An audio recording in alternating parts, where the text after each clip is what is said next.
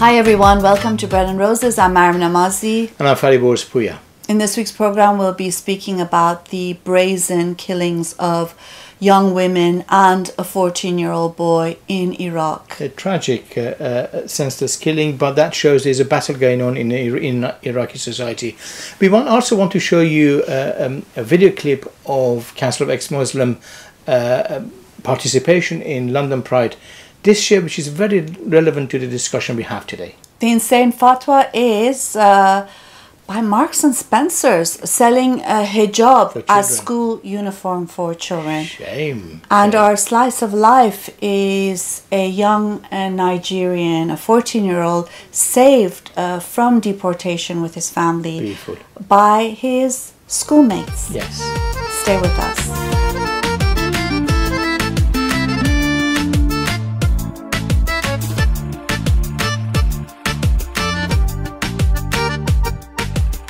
In Iraq, in the past several weeks and months, there have been brazen killings of women and even a 14 year old boy who was perceived to be gay. And it is really like a modern witch hunt. Uh, and of course, it's affected a lot of people, especially when you hear the stories and how they've been killed.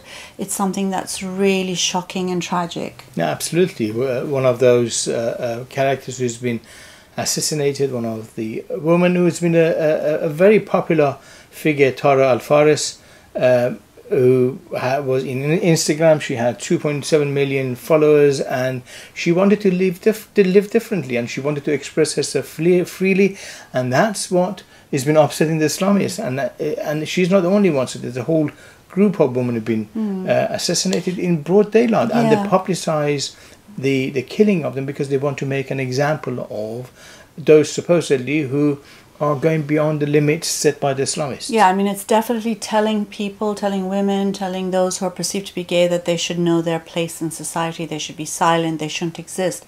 I mean, some of the things that Tara Faris said, for example, you know, she she criticized a, a cleric that had tried to mm, have a temporary marriage with her, siqe, as we know exists in the Shia religion. Uh, she had said something, for example, that I'm not afraid of people who don't believe in God, I'm afraid of those who decapitate and kill in order to prove that God exists. And of course, other women uh, like her. There's the human rights activist from Basra, Suad Al Ali, for example, who was also killed. And she was she was part of a uh, demonstration in, Basra uh, for better facilities against corruption and better sort of uh, um, infrastructure in Basra. A months ago, there were demonstrations. She was she was there. She was one of the leading organizers, and you could see these are the people who want to change the Iraqi society.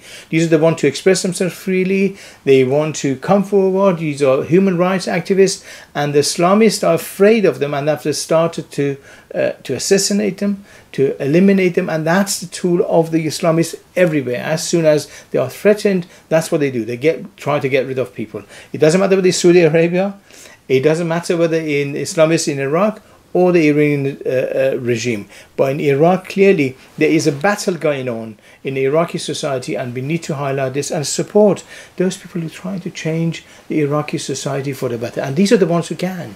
Rasha Al Hassan and Rafifi Al Yasiri are two other women who were killed uh, as well under very mysterious circumstances. A lot of people see these killings all as linked. Uh, and of course, uh, and most recently was the killing of 14 year old Hamoudi Al Mutairi. And of course, his killing. Uh, is one so of those tragic. that's really so haunting. You know, so those who killed, uh, who who stabbed him repeatedly. They followed him in the street. Uh, they've uh, actually even filmed it. They're mocking him, making homophobic slurs, and he asked them, "What's this?" And they tell him, "It's your guts that have that are spilling out of your stomach. And uh, you know uh, they ask him who's your boyfriend? And he looks shocked and he's not sure how to respond. And he's and dazed. And he, the last thing he dazed. says he says i want i want my mom i, I want I mean, my mom this is this extent that the islamists go um, uh, uh, to actually impose the rule. Listen to this guy who is one of the islamists uh, agitating people against the um, um, homosexuality or what he calls a third sex, which is not within the band of Islam. Listen to him to see what.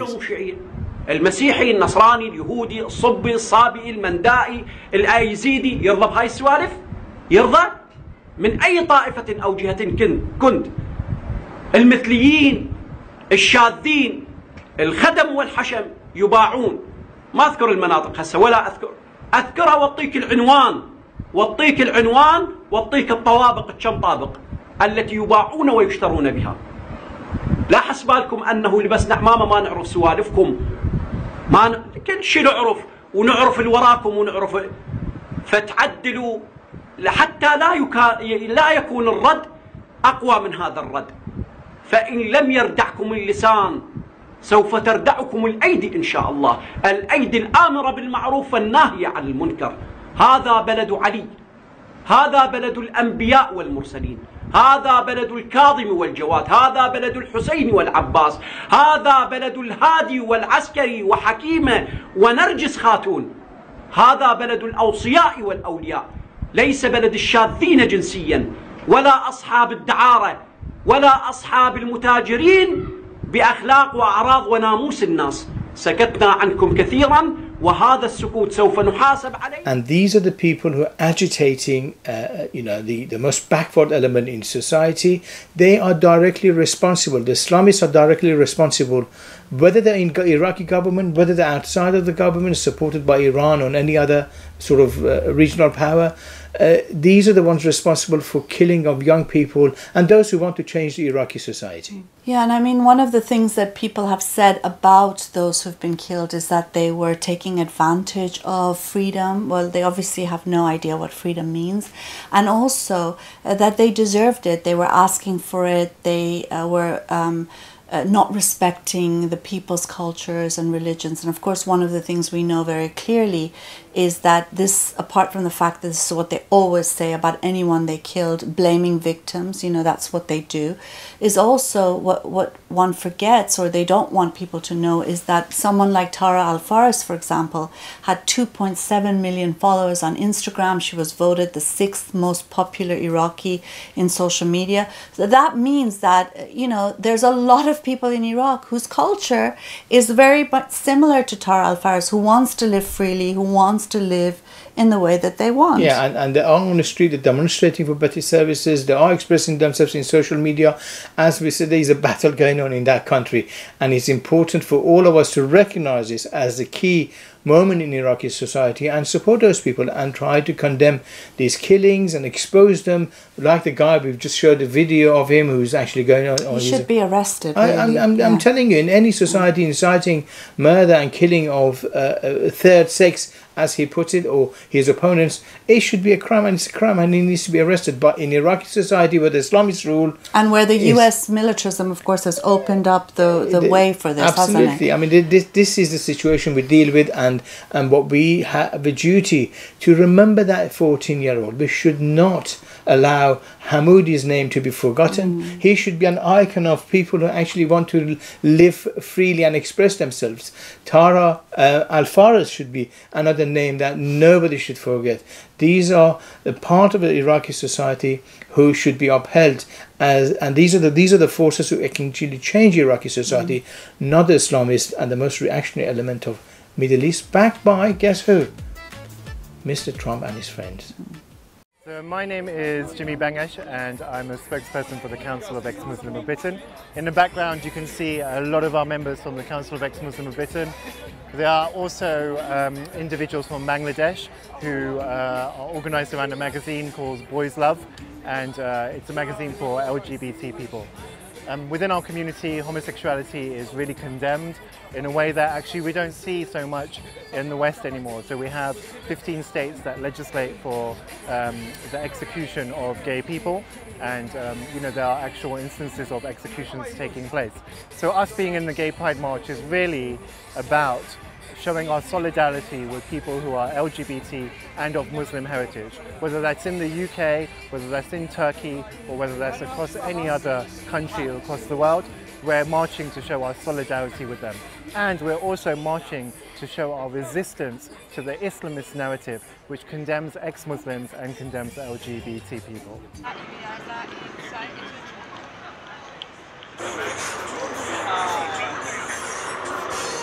Oh, this is because they kill us in 15 states, and they also call us kafir. But we're taking back these words. We're going to make them our own. Just like how, like Christian people and white gay people took back the word queer, we're taking back the word kafir. We'll own it. We're not afraid.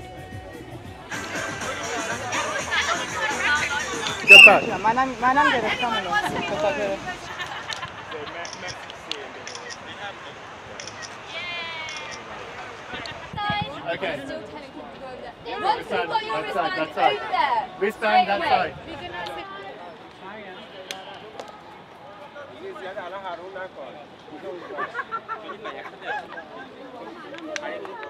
How's it going? Yeah, but I'm in the context with this.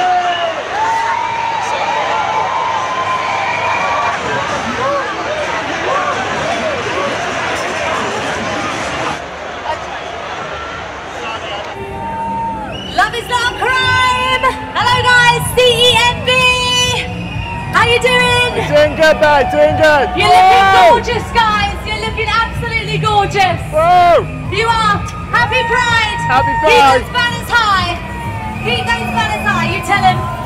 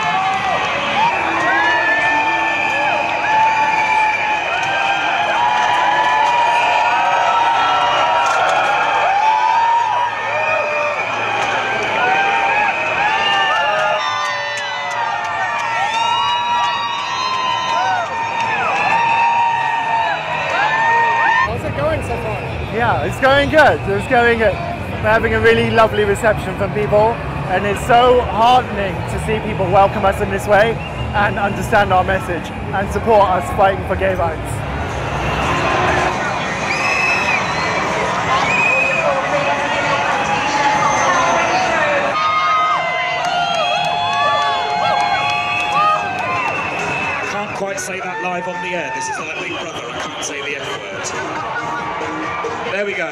People have right. We, they absolutely, ladies and gentlemen, C-E-M-B. That's what I was looking for. Another wonderful cause, ladies and gentlemen. Like I've said so many times today. Today is not just about celebrating exactly who we are, but it's about celebrating the people that don't have the luxury to do so. It's about being counted, and saying, "Do you know what, we've come a long way, but there's still a long way to go. I'm fairly sure we in a finale number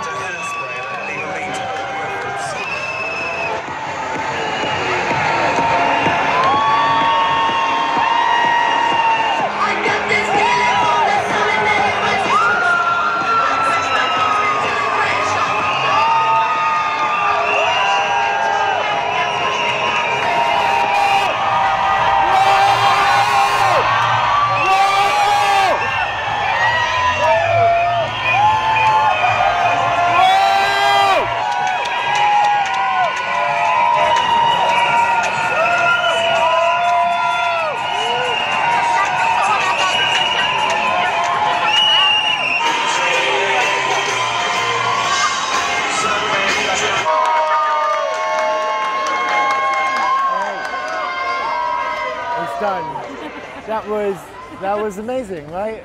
That was it was literally amazing. We had so much support as we were walking through, and people really understood what was going on this time round. We had so many people on the mic talking about us and explaining what CEMB do, and really people empathizing with what's happening with LGBT people in other countries, as well as LGBT people from the Muslim community in this country too.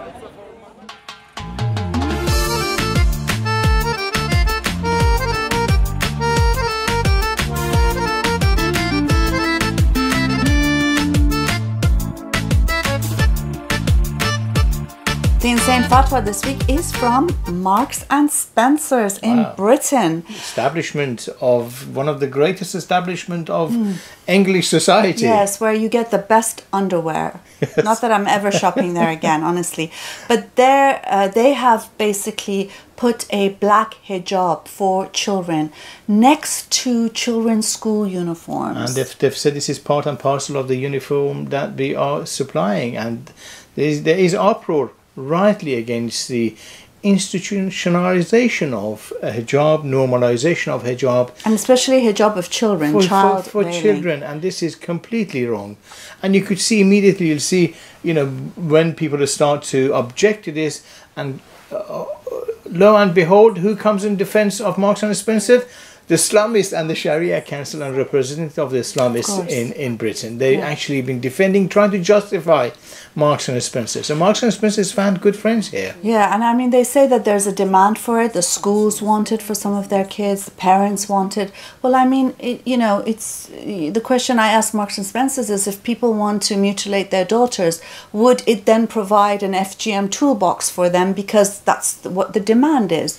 You know, it's not looking at child welfare. It's not putting child welfare above and beyond uh, parents and even if schools demand such a thing, the demands of schools. And actually, Marks and Spencer thinks uh, children coming from the Islam, uh, Muslim heritage or children who live in those families have lesser rights. They wouldn't do this to any other children. And one of the things is, of course, this is the key issue when uh, there's talk about child veiling. You know, the usual discussions that come about when we're talking about adult veiling. It's a very different thing because there's a higher duty to defend and protect children. Child welfare comes first, and you know, child veiling. Uh, there's no question of choice anymore. We don't talk about children choosing to smoke. Uh, no, there's certain things we do to protect children. You know, adults are a different matter. And again, child veiling is very much child abuse. It's very much restricting uh, children. And what we mustn't forget is what this veil actually represents. I think that's very often not discussed. This sexualizes children, and I think that's Marks and Spencer's, who is not prepared to uh, actually understand and uh, and debate. Hijab for children sexualizes them. Girls are separated from uh, uh, boys, and actually, that, that's part and parcel of the Islamist uh, sort of uh, law of girls being different, and half of effectively uh, um, of boys and, and and men. And this is the beginning, and Marks and Spencer has actually uh, joined the campaign of sexualizing young girls and teaching them to be different and they need to be wrapped and um, and hi- hidden away. And one of the things we, we mustn't forget is that in countries like Iran, of course, it's compulsory for girls to wear the hijab when they go to school. And we want to end this clip with a video of a girl getting ready for her first day of school and the fact that she's really upset that she has to wear the hijab uh, and, and the sort of underlying pressure that's always involved when, when children have to be veiled. نه ماما نه راد نمیدن. مقنعه اگه نذاری راد نمیدن. بیا اینجا خیلی خوب برو درش بیار. رفتی درش بیار. رفتی اونجا درش بیار. مامان همیشه نباید سرت باشه. بیا ماما نباید همیشه سرت باشه.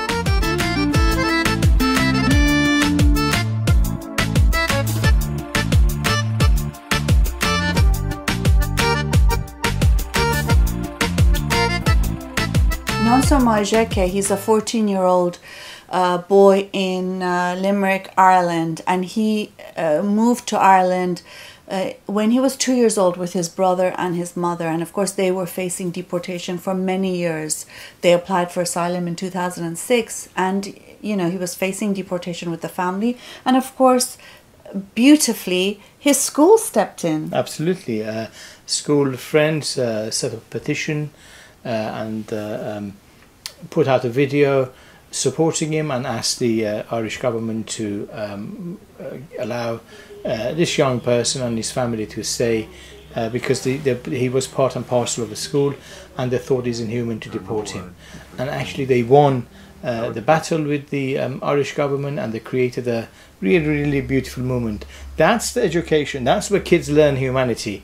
And I think, I'm, you know, if you live around uh, uh, Tollymore College, go and join that school and college. That's where you get proper education. And it's funny because his teacher said, well, you know, some people will say, well, if we fight for Nonso, then it will open the floodgates of other children wanting to stay. And she's like, well, if there are other children like Nonso, why not? Absolutely, yes. And I think the main thing, one of the other students said, is you don't have to be born in a society in order to belong. And he is Irish, he's part of that society, and they fought for him as, as rightly so, as one of their own. And they've, they've created a beautiful moment. You guys were with me throughout everything. And like you didn't turn your backs on me on anything. You were there, supportful, helping me and my family the whole way. And I'm really thankful for you guys for that. We love Nonso and it's important for us that he stays and yeah. And you're happy. no, you don't look it. I'm not just happy for Nonso, Victor and his mother. I'm happy for me. I'm happy for my friends. I'm happy for the school. I'm happy for our entire community.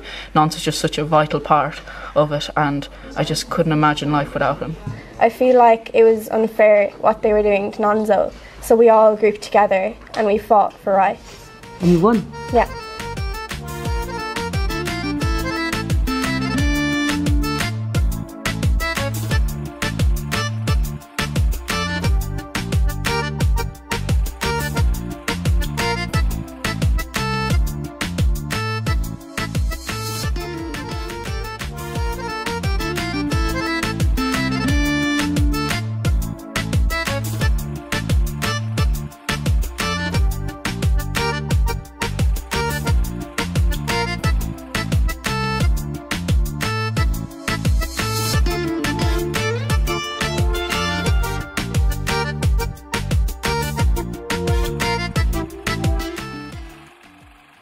Hi, I'm Maryam Namazie. And I'm Fariborz Pooya. We're hosting a program called Bread and Roses. It's a weekly program that's broadcast in Persian and English in the Middle East and North Africa, primarily Iran as well.